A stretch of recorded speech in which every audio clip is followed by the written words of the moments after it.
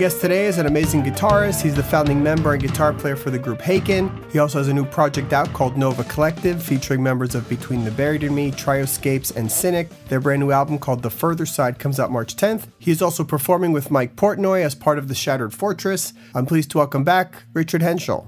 Hey man, hey Rich, what's going on? I'm good. How you doing? Uh, I'm good. I'm good. Been a while, actually. You know what? I, I was thinking back. I interviewed you on the site, like during the mountain. it was like yeah. a while, while back. Uh, must, yeah, that was a while ago, wasn't it? 2014. Yeah, and that's must- something. A lot's uh, a lot's changed. I didn't imagine uh, we had done uh, some interviews with Haken and, and all that stuff, and um, figured the next time I'd speak with you would probably be the next Haken album, and then and then you go and release this insane new group? Well, we, we've been sitting on this album for quite a while now because we, we actually finished recording the album at the right at the beginning of 2016 and we didn't release anything because obviously we had the Haken album coming out uh, later on in, in April of that year. Um, and also we had, I think Dan had Orbs um, releasing an album in I think it was September time. So we thought it would be best to, to like hold fire and wait until 2017 to release the new music. So we've been sitting on it for a whole year now. So it's great to finally get it out there. right. And uh, I mean, and it's also been in the works for a while, right? Going back a few years now. So why don't you yeah. tell about, you know, getting in touch with, with Dan and, and how that whole thing even started? it was ages ago now. It's in 2014. Wow. And I was uh, I was searching the web on YouTube as you do, and I was looking for some Haken related videos, and I came across this video of Dan Briggs from Between the Buried and Me, and he was in a record store and he was picking his favorite albums of that time, and um, he picked out Haken, uh, The Mountain. Hmm. So I thought, wow, he's you know he's, he's into our music. That's great. So I sent him an email and uh, said thanks a lot for you know spreading the word of the band, and it's great to hear that you're into Haken stuff. And we just got chatting via email, and um, before too long, we, we started exchanging musical ideas, and that's how the first uh, the demos and the first blueprints of the tunes that you heard on the album now uh, started to be formed. Right. And yeah, shortly after that, we found um, well, we we didn't find. We asked Matt Lynch who also plays with Dan in Trioscapes and Orbs, and Pete Jones, who was also one of the original members of Haken from from way back. Well, not the original members, but he, he was actually on the first two demos from 2000, 2007 and 2008. So that's over 10, well, about right. 10 years. He, he's not on any, on any Haken albums. He's not on Aquarius. No, he, right. this was before the first album. We had these two demos um, in 2007 and 2008 and he was on those. Then he he had to go off to to study, and he did a physics degree, and yeah, and that's when we found Diego, and um, yeah, so it's a long. I've known Pete for over ten years now, and he he kind of mentioned to me that he was into getting to interested in getting back into the music. So I thought, wow, this is a perfect opportunity because we were looking for a keyboard player, and it all kind of seemed to to fall into place at the right time. Yeah, and I can't really think of a better person for the job, really. So yeah, and, and you know what? You need a physics degree to sort of play this music. I think. yeah, I think I need to study physics to be able to play it. we haven't actually we haven't played it live yet so much, so it's going to be interesting. Right. Are you planning to to do some shows? Yeah, I mean that's the plan. But um, obviously, me and Dan have got busy schedules with Haken and between the Buried and me. Right. But um, we really want to get it out there. I think this music will really come to life in a in a live context, and you know we could we can add improvised sections and you know it'd be quite fun to just get it out there and see how people respond to it in, in a live context. When you guys were writing well let me mention that the, the name of the album is called the further side. And it actually comes out in uh, almost two weeks to march 10th right? Yes. and uh, it's six songs. So when did you know you know when you're working back you're emailing parts and all that when, when do you know okay this we have enough this is what we're going to go with? From the outset we we knew we didn't want it to be too long. Um, for for the first two Haken albums, they were like over 70 minutes, and it's it's okay if you've got a concept and you've got lyrics to guide you along, but I think with instrumental um, music, it's quite overbearing if it's too long. So we didn't want it to be crazily like lengthy like 70 minutes or anything like that. So we, we were hitting for the 45 50 minute mark. Um, But in terms of the amount of songs, we just we had some core ideas and we started to develop them, and then we looked at the set length um, and it it seemed to be around about the time that we were aiming for. Uh, so we just went with our six best ideas really, and we had a, a few leftover songs that we might develop for the next album, but we'll have to wait and see. Well, you know what I like about the collection? First of all, besides the fact that the music is just insane and, and really catchy and memorable and, and everything is, is really solid on it. Uh, and I think the reviews say as much as, as what's been sort of read out there. But, um, you know, there's no fool around songs on there. And all, sometimes, you know, bands like this with different members get together and they write their few songs and then they say, well, we need some more material. So this will be, we'll just jam for 10 minutes and throw it on there and it's yeah. a, you know it becomes a song you skip every time. So you know I, I, I think that you guys did uh, at least by my opinion just a great job of making it good from beginning to end. Thank you so much. I mean, it's crazy. We're, we're reading back all the reviews now, and because we've been sitting on the music for so long, it's quite hard for us to gauge whether it's any good on like anymore. We, have been listening to it thinking, oh, is that any good? Well, but it's, it's awesome to to hear praise from people like yourself and some of the other reviewers out there.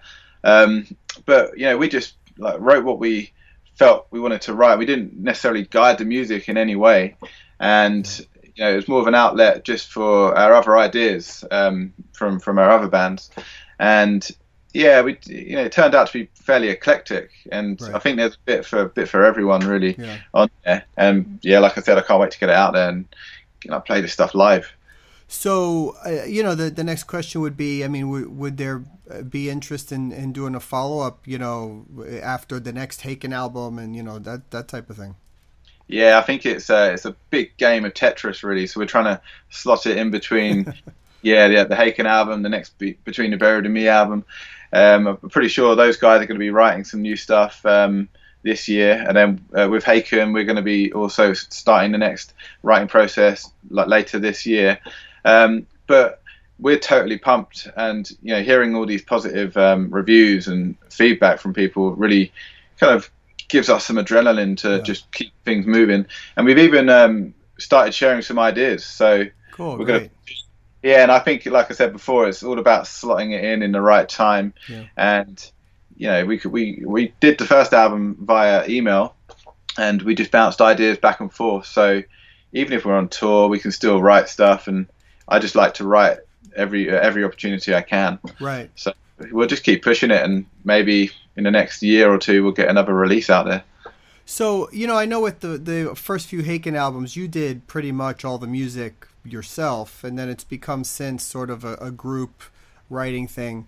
Was this a, a, a nice outlet for you to sort of you know maybe some ideas that now don't work with Haken you, you were able to use for a side project and sort of write in a different way? Yeah, it's been it's been great fun. Like you said, with um, with the latest album Affinity, with with Haken, we took a lot more a lot more of a collaborative approach, and um, that's freed up a lot of time for me because before with the first three albums, I dedicated my whole life essentially to, to writing the music, and it took up so much time.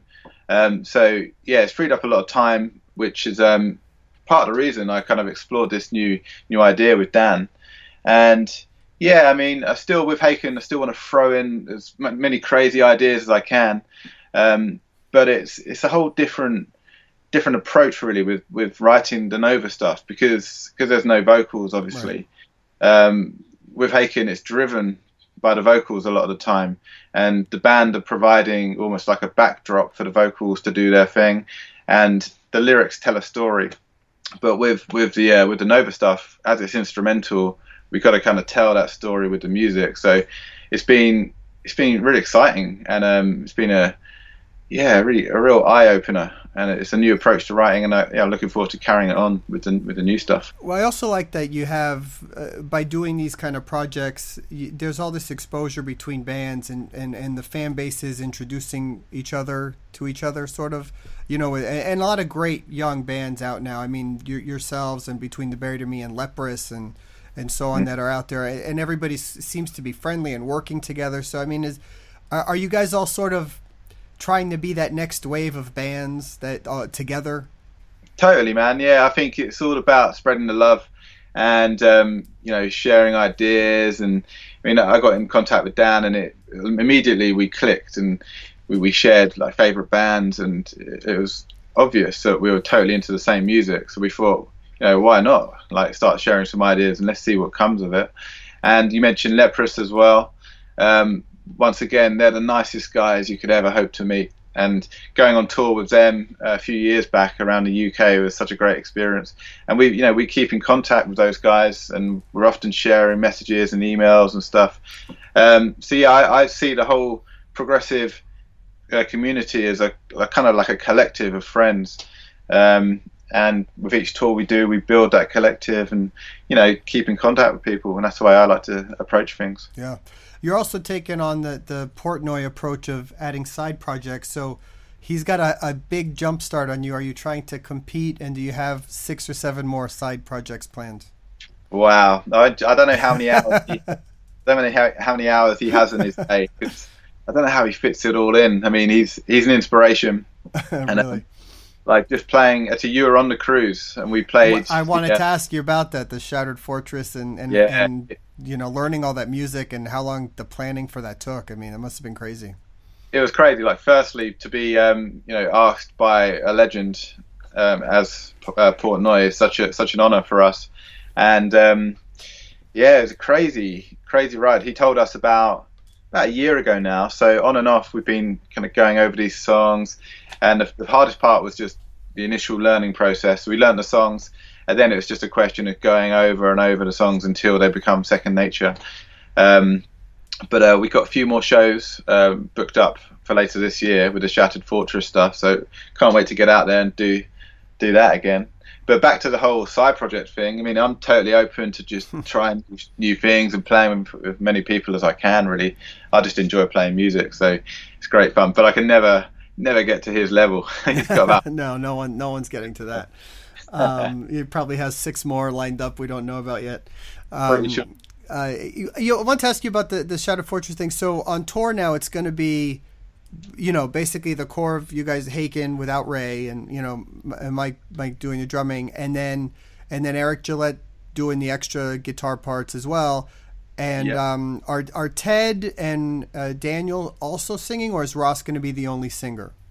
So um, Ted and Daniel obviously did the cruise, um, but I'm not entirely sure of the setup for the other shows. I'm not entirely sure whether he managed to get them along for the ride. Um, so I know that Ross has learnt all of the songs, so he's got it in his arsenal to pull them off. But um, it'd be awesome if Daniel and Ted could come along because they're, they're such great singers. Did you guys see Ray surfing and kind of flipping you guys off during the show? Because that was awesome. Yeah. yeah. he was standing at the side of the stage where I was, and just throwing insults at me for the whole show. and then I looked up and yeah, he was crowd surfing with his middle finger up. So I was like, and um, I couldn't kind of resist laughing and having a smile on my face, and it was a great, great experience. And oh, for him, it must have been hard for him because he was the only guy that wasn't on the stage. But it must have been strange as well seeing seeing his whole band from the other side of the stage because he's never really seen that before. He's always been behind the stage and seen seeing our bums, I guess. that that really was a lot of fun. I mean, do you enjoy the the cruises generally speaking? I know you had your family with you and, and a young young kid now you have with you, and I mean, was that just just juggling the performances and family and is that is that a good time? Oh, it's such a great time. I mean, it's very hard to find to find the opportunity to bring my wife and my new kid um, along because when we're touring, it's always hot and sweaty, and we're stuck in the tour van, and there's no time really for that kind of stuff. Right. But on the cruise, we play the shows, and then we have a whole day really to, to relax with the family. Um, so yeah, it was so much fun. And my my kid, he's only he was only ten months on the right. cruise, so it was the first time really for him to like experience something like that. And I think he fell asleep throughout the whole of it both times. So he obviously isn't into the movie just yet, but no. that's a work in progress. right, right.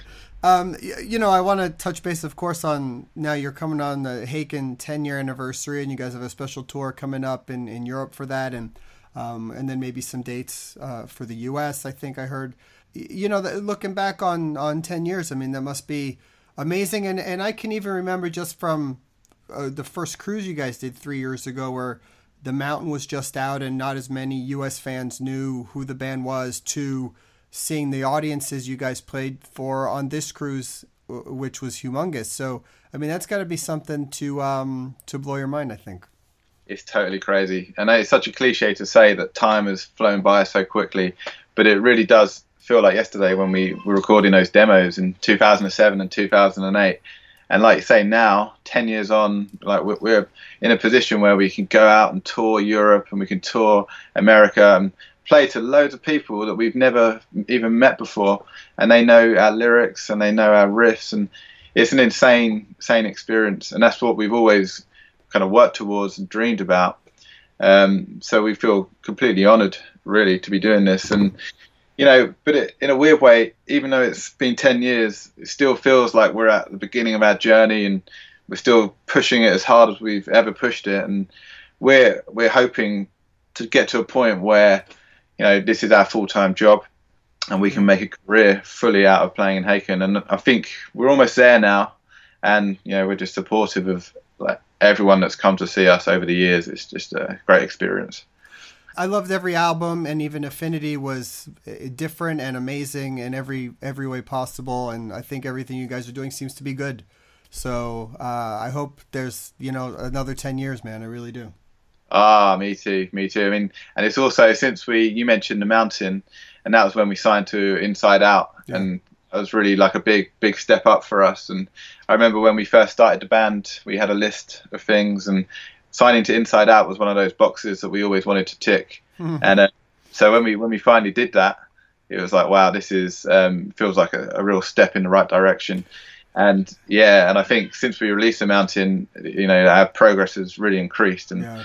so hopefully, yeah, next ten years we'll keep pushing it as hard as we can. And um, who knows where we'll be, but we'll you know we'll keep working at it.